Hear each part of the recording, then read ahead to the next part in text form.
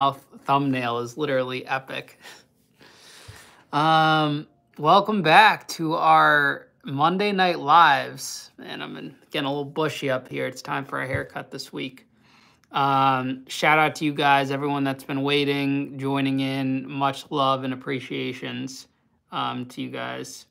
Uh, Killer Kush, thank you, man. Appreciate the support. Uh, Justin, what's up, man? Man, Aaron, what's good, bro? How's everyone doing, man? Uh, excited for another story time. You know, every Monday night I got my little prison story times going. Excited to get into that. Catch up with everyone, do a little Q&A action. Uh, see what's going on with everyone. Oh, I just got the notification on my email. I'm going live. uh, good old technology, right? Grab a sip of water.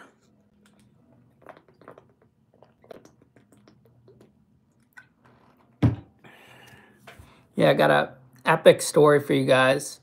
Uh, excited to jump into the inner workings of cell phones in federal prison. Jonathan, what's up, man? Welcome to the live. Uh, thank you, everyone, for joining. Remember, every Monday, 7 p.m. Eastern, we go live. Dominic, what's up, man? Guys, Office is coming together. Let me show you this. I keep filling it up it is uh, coming together. It's pretty cool. It's like a really cool working space. It's fucking editing a podcast right now. We had uh, Gianni from uh, Power, the Power TV show. Shout out to 50 Cent. Shout out to uh, Gianni Paolo, Power Stars, all of them. Uh, he was at when I was in um, Spotify Studios. Uh, that was a really a blast, a fun time. Um, but what's up, everyone? Karina, how are you? Jonathan, how are you? Uh, Duran, what's up? Uh, Danbury Trashers, I'll show you guys. I got them out here. CO Ebron in the house. Jay, what's up? Zero Tark, Tony, what's up, man? Uh, Trashers gears right there. Shout out to the Trashers. Look at that. Ooh, look at that, baby. This is a studio for, for those who haven't seen it. You gotta love when, you know, people just leave shit over here. Look at this fucking shit. Oh, also, guys, I found this water right here for nine bucks. You could get this shit nine dollars on Amazon, free shipping. Oh, and also these waters are fire. Try these out. But yeah, I ordered all these cases because they're only nine bucks. Uh, got our little snack selection over here. Gotta have the fudge strips. Uh, yeah, this is a studio. You gotta, that's where I record all the magic in there. We got this little uh, travel um, case over here because I'm going to Nashville next month, gonna shoot some episodes. We got the Chevy Chase jersey. Check this out. Oh, this is more Danbury Trasher stuff right here too. Um, this is the wall when guests come, wall of thumbnails right here.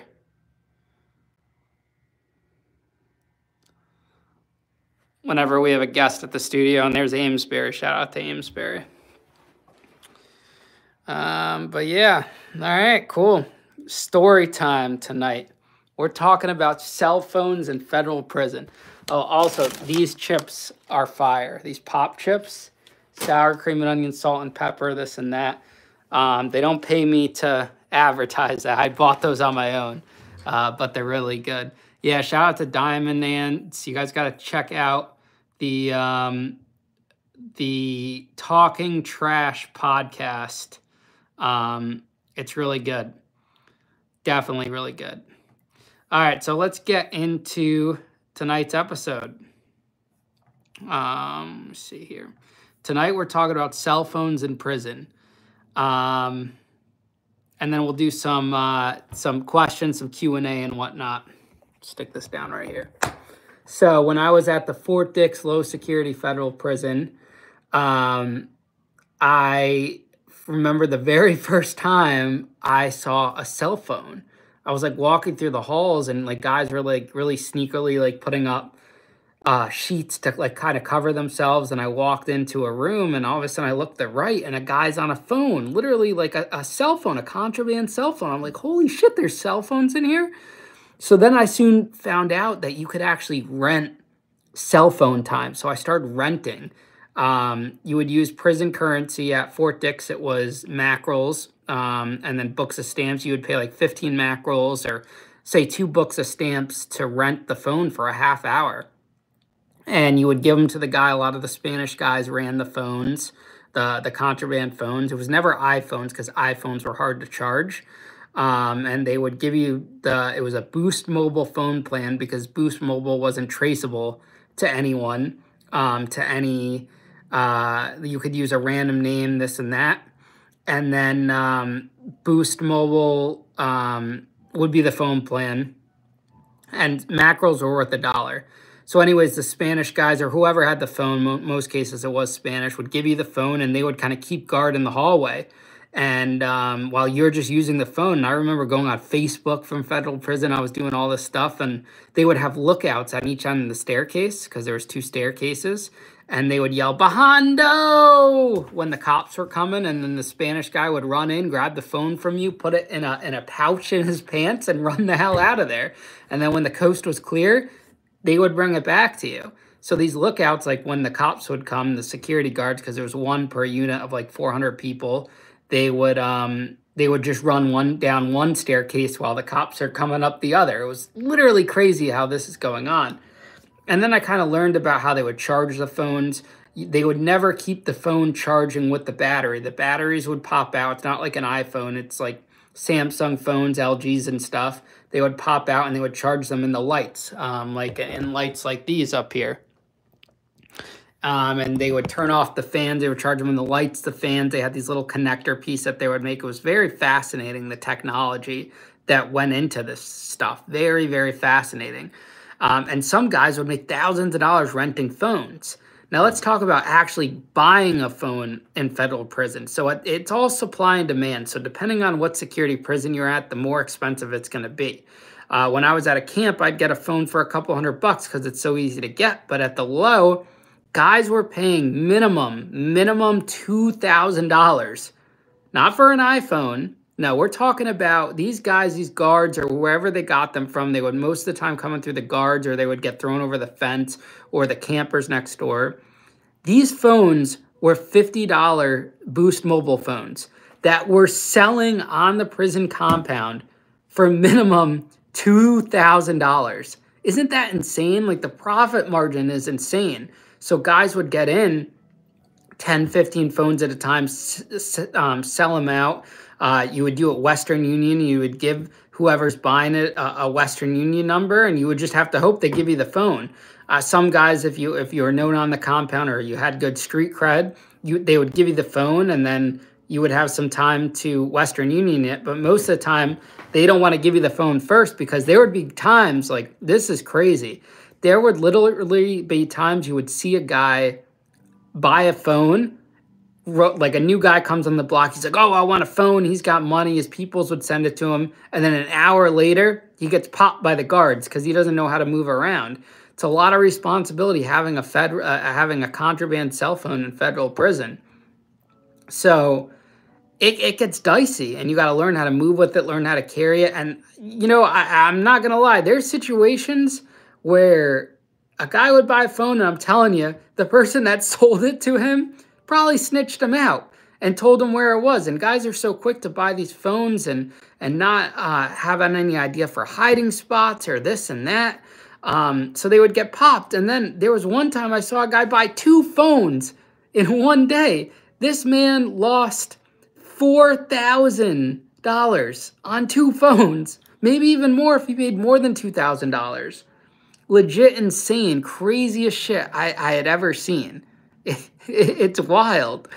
Um, and so guys would hide these phones. They would most of the time you would see these phones in magnets. Like they would have magnets uh, glued onto the back so they could easily stick it under a washing machine, stick it in the air ducts, hide it around because you never want to get caught with the phone. Um, if it gets caught on you or in your area, um, you're going to the hole and you're getting shipped to a higher security prison. The idea is never get caught with it. throw it into a common area um, so you don't get in trouble for it if you were to get caught. Never get caught with it on your persons. Um, but yeah, can you believe two to three thousand dollars a phone? Like, imagine. Um, so eventually, I end up buying a phone and I get a good deal. I was like eighteen hundred bucks. I paid for a phone. There was a lot of phones running around. I was able to get one, and my dad sent the money to the person that had it. Um, and you know, I had like this little sewed-on pouch um, that would go in like your groin area. That was like a, a, a picture of like a leather phone case sewed onto your pants, and so you would just stick it right there because ideally the guards aren't searching right in your crotch area. Now, if they have the wand, like the electronic wand, because they would sometimes run around with that, then you are in trouble. Because if they're wanding you, your ass is grass. They're getting you real quick on that. Um, so I bought my first phone, and uh, I end up I, I lived to, to, to, to, fight another day. I ended up selling that one before it got tough because it was getting very hot. Um, they were doing a lot of raids. Everyone, when you have a phone, everyone's snitching on you because there's so many guys that don't have a phone. Um, so they're jealous and they're throwing you under, and no one wants the new kid on the block to have a phone. Um, so that's what happened. And uh, you'd see some pretty crazy stuff. And so when I get to the camp, I get a phone again. and those phones were so cheap they're only 200 bucks because it was so easy to get them in. You lose a phone you guys were just chucking them down the hallway whenever there was a cop coming because there's no fence at the camp. It's so easy to just get another one. Um, so you just that's more of a reasonably priced phones. The markups aren't as bad and in those cases guys aren't charging them in the lights or anything they're just plugging them into the outlets because it's so relaxed at the camp sometimes guards would walk past a phone and, and they don't even take it it's nuts. Uh, Jonathan, you're a real one for for buying your friend a phone. Shout out to you for that. Um, so, anyways, yeah, this phone ecosystem. So, what guys would do is they would tell their peoples, they would call on someone else's phone to, to say, hey, to their family members or so and so so, buy me the Boost Mobile card, like one of those prepaid Boost Mobile cards, and then you would make a fake account using, you know, a random a Gmail account and some fake names and stuff, and you would have a phone plan. You could get unlimited minutes and unlimited text and unlimited data for only like 50 or 60 bucks a month.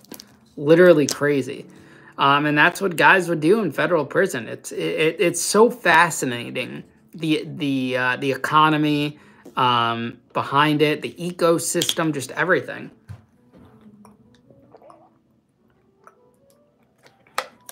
Yeah, this shit right here, zero calories splash, pineapple mango, really good. Um, and and iPhones were hard to come by in these places too. Um, iPhones are not really a thing um, in federal prison because they are so hard to um, to charge. There's no battery pack in an iPhone, so it's hard. You can't separate it. So no one wants to leave. One, if you did have an iPhone, you were paying five or six grand for that thing in prison. Uh, but no one wants just to, le- to, to just leave the iPhone randomly out and about. Uh, Chevy Chase is the iconic actor. You guys don't know who Chevy Chase is? Um, literally the the National Lampoon Christmas Vacation movies, everything like that. Uh, yeah, I'm sure they sell those those cards everywhere too. But yeah, guys, let's get into some questions. Remember to hit that like button if you're looking at this in vertical mode. Hit those three dots. Um, if you guys have any questions about the phone thing or questions in general, remember Locked In Podcast, three episodes a week, Tuesday, Thursday, Sunday nights, 7 p.m. Uh, tomorrow's episode, man, it's a killer. We got someone that was in an Ecuadorian prison for seven years. It's going to be insane. Really excited to share about that. Um, yeah, uh, there was a lot of people that rented phones in prison. A lot of people. I mean, guys would. So think about it. When you pay for a phone that's two or three thousand dollars, yes, it's a lot of money. But if you don't get caught with that phone, and, and granted, eventually everyone gets caught, but you'll have a good run if you're smart and you play it well. If you don't get caught, you're making a lot of money. If a half hour sells for 15 or 30 bucks, and you're booking it for eight hour windows, say some guys will just pay. I had a bunkmate that would just pay like 400 bucks up front to some people at, at different times. Um, and it was just, it was insane how much money these guys are making. I remember when I went, when I eventually got rid of the phone because I was like, yeah, this shit's too risky. Why the fuck am I doing this? I ended up just renting and I would pay monthly because it's less risk but there's no risk really to rent because there's always a lookout because no guy wants his phone jacked. Even though it always sucked when guys would rent a phone, they did a random raid, and the person that was the renter gets popped with it. So the guy that rented it, that person is screwed out of a phone. Plus, the guy that was the rentee ends up going to the hole. Uh, Brian, thank you, man. Shout out to you. I appreciate it. Oh, Dominic, the water. Gotcha. Yeah, I, I just got put on to uh, the water by one of my clients. It's really good. Um, Garrett, yes, a lot of people did take pictures and videos on their contraband cell phones, and the the um, the prison would always sell send the phones out to the FBI to like break into them and crack them or whatever, and that's how people got caught. They had pictures of each other. I mean, have you seen like prison talk on TikTok and everything like that? Um, the, there's guys going live from prison and they're taking photos they're doing all this crazy shit that's how these guys go down and get caught like the, the i remember the prison guards what they would do is they'd crack into these phones. Some idiots didn't even have it password protected but they'd get into these phones and all they do is look at the contacts and look at they would compare the numbers to see if it matches your call log from the normal phone to see if you you had anything on there. And then they would um, also check to see if um, you had any photos and they're just comparing it. And guys would get popped all the time. Sometimes they would catch a phone in a random uh, communal space and then a couple weeks later that person would get called down um, to the next one it, it would it would be so funny you know um, and then the, it, it, they would they would get called to the next one big ass booger on the right side that's not a booger that's just like my skin got me looking for a booger. No, I don't have any boogers. That was just like my skin right there. It looks like a booger. Um, but yeah, so then um, they would get called down by the SIS or the Special Investigations Division, and they would say, "Hey, we caught you on a phone," and, and that guy would, you know, go the shoe um, from photos or this and that. Nuts. Uh, a lot of fights, not really a lot of fights. See, the thing in these low security prisons and camps, no one wants to get into a fight because no one wants to get kicked out of there. You know, they don't want to do anything that's going to get them in trouble.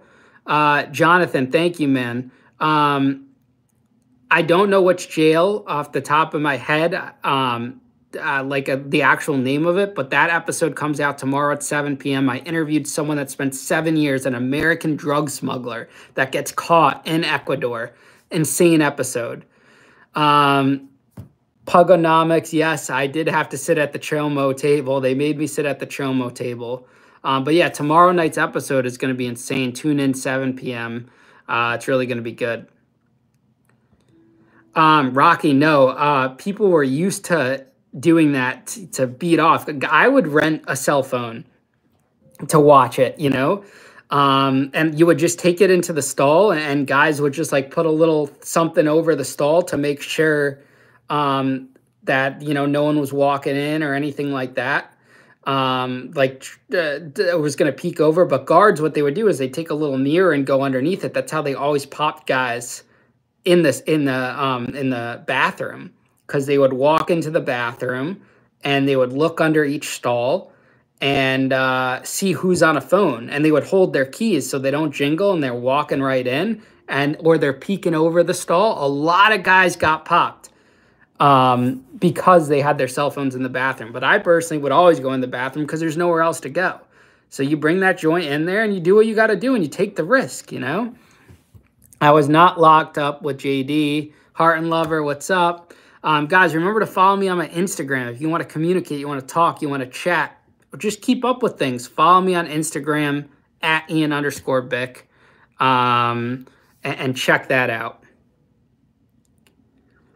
Um, Jonathan, I appreciate you, man. It means a lot. Conditions at Wyatt kind of suck, man. It's a holdover detention facility. You're at lockdown a lot.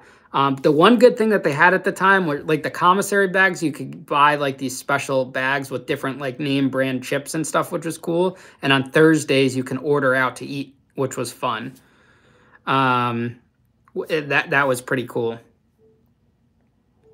Uh, Amber Alerts. Yeah, that's actually a running joke that when an Amber Alert went off in prison, everyone's phones would just light up. There was like a, a nationwide security test or something a couple months ago, and I made a TikTok about it that everyone um, um, was shot on it.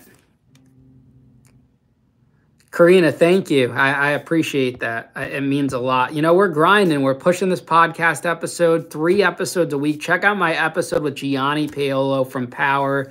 That came out last night. Uh, leave a comment, leave a like. Um, Misty, thank you. I, I appreciate that. Uh, it means a lot. I appreciate all the support, guys. Um, the, the OF. Guys, I used to have an OF page. I might have to should, should I make that again? It was pretty funny. Now I actually have a huge platform. I don't know if I get into that or not.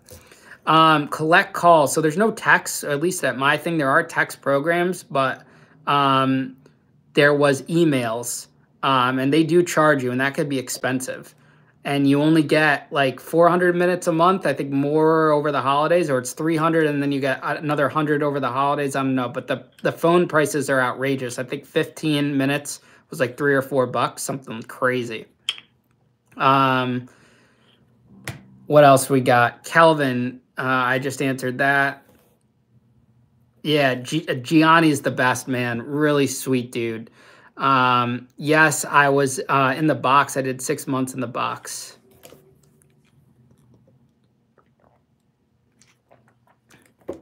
G Martin, thank you so much, man. I love seeing that. Guys, if you can do me a favor, everyone always asks, what's the, how can we support? I don't need money. I don't want anything financial from you guys. This is all I need you to do, okay? This is super important. Check out app my show on Apple or Spotify, Locked In with Ian Bick, and just leave a review. It helps push the show out tremendously on the audio platform and get more listeners. That's all I need you to do. Just check out Locked In with Ian Bick on Spotify or Apple or both if you're feeling gracious and just leave me that review. Um, on Spotify, you can't write anything, you can just rate it. Um, but on Apple, you can actually write something. Uh, Bearded, I think three episodes a week is the max. Um, I do. I have a studio business. I have clients that I edit and this and that. Um, and I don't want to overwhelm people. I think three people uh, is is is more than enough. And also on Spotify, make sure you hit the follow button too. Uh, that would be a great, greatly appreciated. Uh, Oscar Castro, shout out to you, man. I was just telling the whole live that your episode comes out tomorrow night, uh, 7 p.m. Seven years in an Ecuadorian prison. Um, Abdu, sorry if I pronounced that wrong, but I have done an episode with the Connect. I, have had Johnny Mitchell on my show twice, and I was on his show. Um, glasses with baby goo. Y'all are wild. Tom, shout out to you. Thank you. Conservative felon, thank you. Um, there was no iPods in the feds at the time. I don't know if that's different now, but I know a lot of the state guys have uh, iPads. My first episode was last year with Jesse Crosson. He goes by the name Second Chancer. Uh, great episode. I've had him twice uh, on the show. TY, what's up?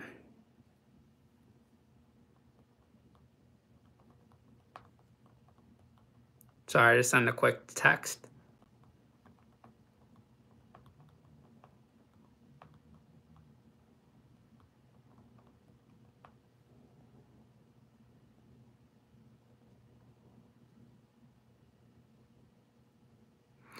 Someone just sent me this article. This was in the Danbury News Times paper um, today. Um, check it out it's actually pretty good. They did a really good uh, job on it. Search Ian Bick Danbury's News Times. Um, it actually came out really good, guys. Give it a read. Um, I, I, was really surprised. Jordan, thank you, man. I, I appreciate that. Really appreciate that.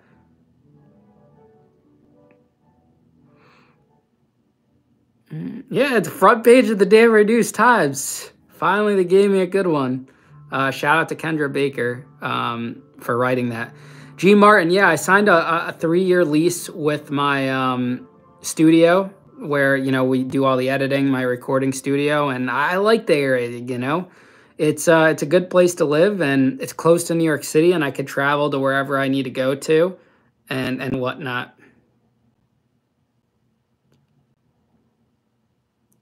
And you know, it's homey. Like, look at I got this. Like I was showing everyone earlier. This is my office. Like, it's a really cool, like, creative workspace. I love it. Shout out to Mike Tyson, man. That guy is the goat. Oh, I went to Christina P last night uh, at the Ridgefield Playhouse. Tom Segura's um, um, wife. Really great show. She was super funny. Yeah, Dominic, it's literally crazy. The News Times bashed me for years, and they they they did me right. Um, very appreciative about that. Your local starshine, hi, how are you? Uh, yeah, I, I got two sleeves, guys. I got two tattoo sleeves. I got some on my chest, um, and all that. Uh, Jonathan, I, I think I have like six or seven podcasts right now. We edit for the Mean Girls. Uh, this is the worst. Brittany Furlan, uh, Furlan. Um, we have um, what else? We do a lot. I do the jo uh, Johnny Mitchell's clips on TikTok. Help him with his clips. Um, things are grinding. You know, we're coming together. It's it's, it's really exciting to see. It, we've come a long way. And and remember, every Monday we do these lives. Every Monday, 7 p.m. Eastern time. You guys want to come on here? You want to chat? You want to hang out? From 7 to 7:30 every Monday. Uh, it's me and you time. You know, I take the time to, to connect with you guys because we wouldn't be here if it wasn't for you guys. Also, check out the merch, Locked In hoodies. If you go to ianbick.com and use promo code Locked In, um, you know, um, you get 20% off. Yeah, you have to hustle in this day and age. You got to. I've, I've always been a hustler. I'm not lazy. Um, and I do a lot. I edit all my own podcasts now. I do all my clips. Oh, uh, did you guys see this? Look at how cool this is. it's literally me. Shout out to Oscar Castro, man, for making this. Look at this. Woo. It's literally me. And the little headphones and the microphone. This is literally the best gift ever. Who's cuter? Conservative felon. That uh that would be actually a good idea. I, you know what I'd love to do? Put a uh, put a um a um billboard in Danbury. Really stir some feathers up. Danbury's a weird town, man. So people are got a grudge about that. Um Bearded, no, I've never gotten any threats and stuff. Some people will call me a snitch or whatever. I'm like, everything I'm talking about, all these prison guards already know uh, uh, what's going on in there. It's they weren't born yesterday. It's crazy. Uh, Dominic, Tyson's gonna whoop Jake, man. Tyson's got to handle business.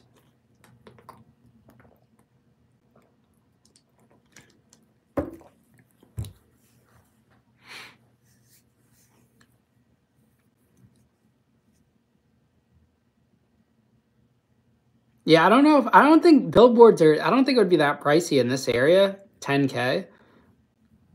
Three rounds with headgear. that would be funny. Uh, I don't know. I, am going to an event with Tyson next month. Yeah, me and uh, JD Delay are very cool. I love JD. Really good dude. Uh, Calvin, I would never take back going to prison. It gave me this amazing life I have now, an amazing job, an amazing career, and everything happens for a reason in life. Everything comes full circle. Um, I don't watch soccer, so I couldn't tell you um, who um, who my favorite soccer player is. My brother, my younger brother, he's 24. He loves soccer. Um, so yeah. I don't smoke smoke, but I do edibles. I love a good edible. Tyson, man. Tyson edibles, they literally have an ear shaped on them. They're my go-to. They're the best. Highly recommend it. Um, I'm not involved in Tyson's vapes at all, but I promote for them. Um, love his stuff. Re will recommend it to everyone. So shout out to Tyson, man. Those guys are great over there.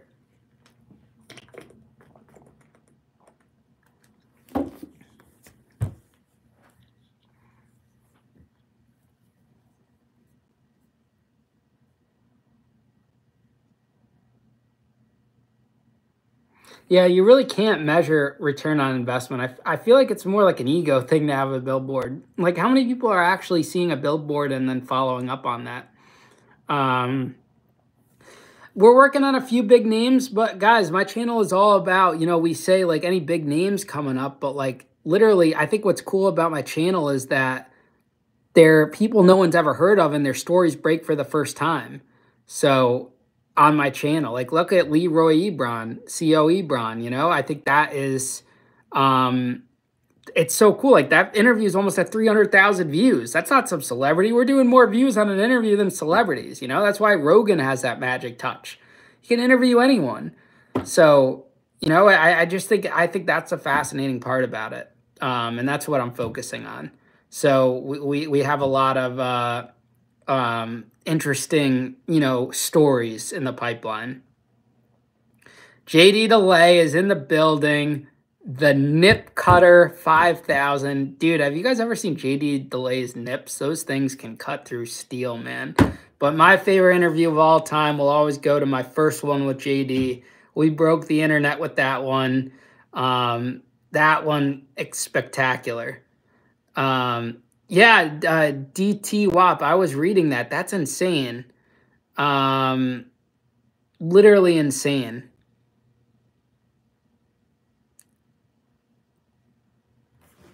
Um, Ed, shoot us an email, man, or, or fill out the submission form. Uh, if you go to ianbick.com, we have a be a guest submission form. Um, and check that out. But listen, guys, uh, it was great talking to you tonight. Thanks for connecting. Um, we'll see you next Monday, 7 p.m. Uh, for another Q&A and, and story time.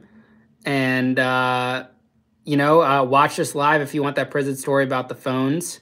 And um, yeah, much love to you guys. Seriously, appreciate everyone that tunes in, comments, chats with us, and everything like that.